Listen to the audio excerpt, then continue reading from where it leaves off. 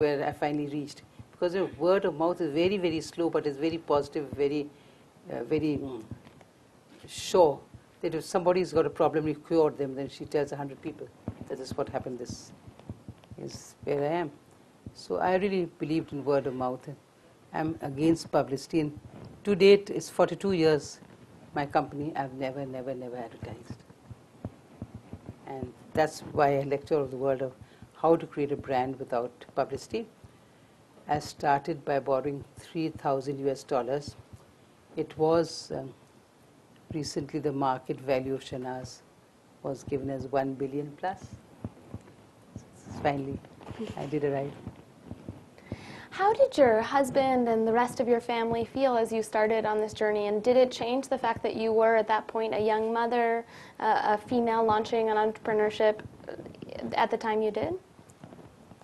It wasn't easy. My husband was very great. He sort of helped me a lot because he knew that, you see, I made it very clear in the beginning that uh, I'm walking this path. The fact that I got married doesn't mean that, you know, I need to answer a situation. If I, as a mother and as a wife and as a daughter, are not doing my duty, I'm fine. But if everybody is happy, but they still insist that I should uh, hit the beaten track as a wife, that's wrong. You're born alone, you live alone, you die alone. If somebody holds your hand on the way, good, and they must love you for it, let you go. But if they insist that you must do what they say, I think that's not necessary. You should do what you think is good for yourself. And that, uh, I'm sure my husband got clear. So even if he stopped me, I still wouldn't listen, that's Right. for sure. So then what's the point of stopping me? you stop a person if they won't listen. You know, if he said don't go, I still go. If he said don't jump into the well, I still jump. So stopping, they knew that this, she's a, you know, uh, one-track horse, she would never stop. And even if, you know, what, what happened? Suppose he said, okay, I'm divorcing you, letting you go. You know, at one point my uh, situation came that I would take the baby away. I had very tough in-laws. I said, fine. Uh, I was given the message by someone that, you know, you won't have your family so long. I said, doesn't matter, then I have, have family later on, more children, no problem. But my life can't stop. You live one life and you live it well lived. And you don't answer anybody but yourself. If in the uh, conscience and in your mind you're sure you're doing right, then nothing can stop you. But beyond that, I think no power in the world should ever stop a woman but her doing what she thinks is best for herself. Most important she must answer to herself. No one in the world, no one has a right to tell a woman ever, do this, do that. Why? There's no one has given anybody the right. A man and a woman are the same as far as their uh, values are concerned, as far as their rights are concerned. started um, your first salon, then what happened next? How did you go from having one salon to having, I mean, literally, when I go to India, Shahnaz is everywhere. The brand is everywhere. I use Shahnaz Gold. Like, it's everywhere. So, how did it go from being in one salon and you doing it to it becoming a scaled business? I think you should have a separate uh, department in MIT, and maybe I can come once a year to lecture in MIT, how to create a brand without publicity. It's really very hard to say that I don't know why the billions of dollars are spent in publicity because, you know, suppose I advertise a moisturizer, Shamoist, it's my hottest seller, and said, use Shamoist, is good. If it's good, you'll buy it, but it's not good no matter how much money I pump in, it will not be there. Your value of the ad is as um, powerful as that time you see it for that moment. Tomorrow morning is a bigger ad of another product, maybe the same product in another form. So I don't think that, how can an ad help? If I say it's good and it's not good, you throw it away. But if your best friend says, try it, it's miracles, fabulous, then what happens? So what really matters is the quality of the product, not the ad that goes behind it. What's the use? So many huge multi-billion dollar um, ads come in the pro- with the product and the product disappears, you don't know where it went. So I don't think the ad is really important. The cosmetic empire is pumping billions of dollars into a hysterically mad cosmetic industry, selling youth and dreams in bottle jars.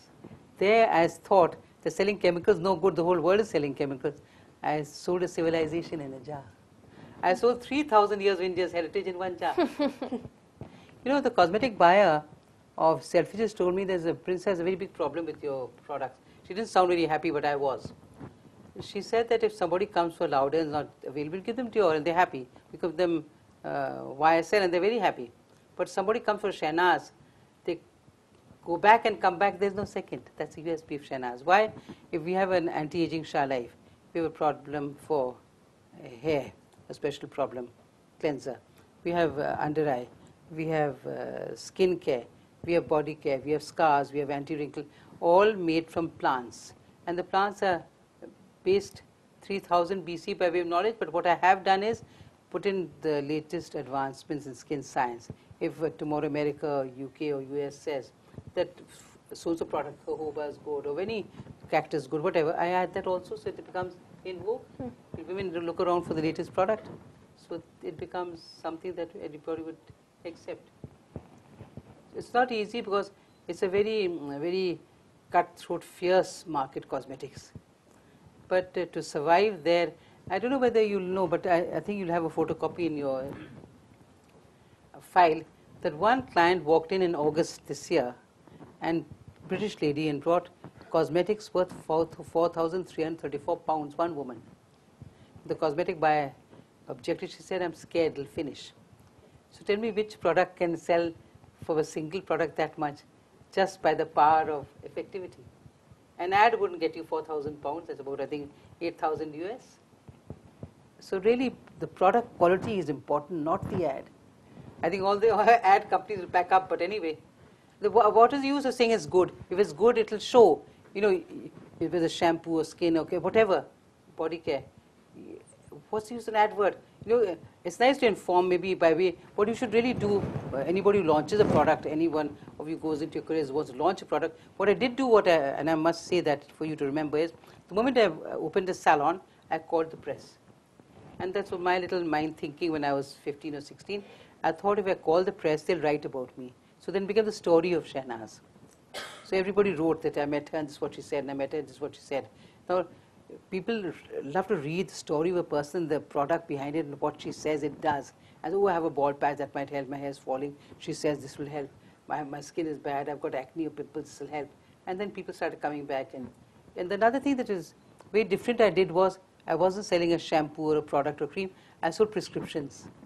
You know, Ayurveda, morning this, afternoon this, night this, morning this, after this, night. For hair, it was shampoo uh, apply whenever washing, tonic daily every day, and then um, hair serum whenever uh, skin or hair feels dry. So it was, everyone wrote a prescription on Shahnaz. Then we opened schools to train people to write prescriptions. So the beauty school started. Now, and I think within India we have about 8,000 schools. Then I was very concerned about India. I thought there were little girls, very clever, intelligent girls, married early, 14, 15, 16, lots of babies, nothing to do, very bored, very brilliant, very intelligent, very rich family housewives are not very rich, but nothing to do because they weren't educated. So I went on a lecture program and told girls to refuse to get married unless you have a technical education. Just say, no, I'm not getting married. Unless your parents give you technical education, don't get married. Number one. Number two, if you're married and you have nothing to do, then open a salon in the house.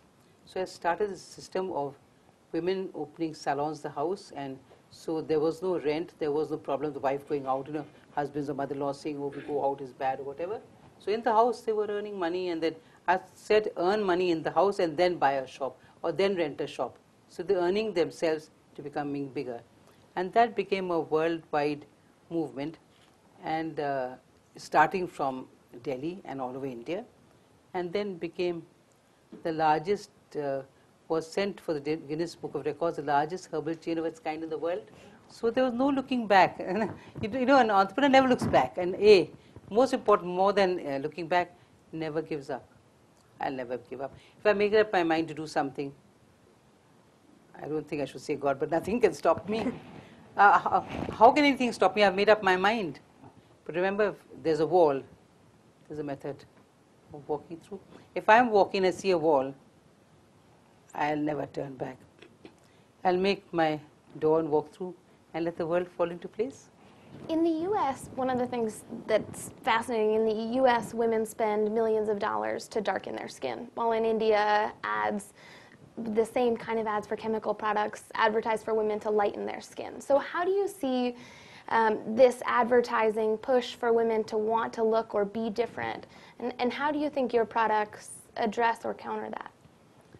No, it's a very difficult situation. I created a product called Fair One, which became one of the hottest sellers in India for fairness of skin. Wasn't fairness, but clearing the skin. The problem is that um, if you see the papers, it says wanted a fair bride. It's one of the main, main um, assets they're looking for is color. It's nothing, nothing to do with India really. It's the culture of several centuries coming down that a girl is fair, she's beautiful. In your part of the world, you want to get dark. So, uh, the, culture of fairness is ingrained over the years that a uh, fair girl is beautiful. But beyond that, I think there's nothing to be concerned about because I think the color is not important, the quality of the skin is important. The color of the hair is not important, the quality is important. But I think now India is changing. I think don't think fairness is all that great. But there is a great concern that if the girl is fair, she's beautiful. So I don't think that should worry anymore. It's changing now. Mm, That's good to hear. The I- cream that I created was called Fair One. But what, why, you know, you say that I'm talking against fairness and fairness is not important. But what I saw was, and the reason why I made this product was A, the fairness cream is very expensive. This one very cheap. Maybe it was half a dollar or maybe one dollar, mass market. And the second was that uh, they were using very powerful chemicals to whiten the skin, damaging the kidneys. I knew the hydroquinone and things like that. I said suicide. Uh, the Time magazine has a huge article once I read that thousands of people all over the world would die of kidney failure and sleep and still color the, you know, their skin or hair with detergents or chemicals that are bad. So I thought, okay, then I'll mix the same thing from plants so there are no side effects. That's where the story of fairness with plants started. Thank you. I think we'll open it up. Um, I'm sure people in the audience have questions. So, um, yeah, sure, go ahead. Curious, what would you say, what would you say is either your biggest regret or the worst mistake that, I mean, that you've made either, you know, business-wise, but specifically on your road from, you know, a a young teenager starting their own business and education to where you are now? What is the one thing that you look back on and said, I wish I hadn't done that, or I wish I did this differently? Well, I think the biggest mistake I made was that I was offered about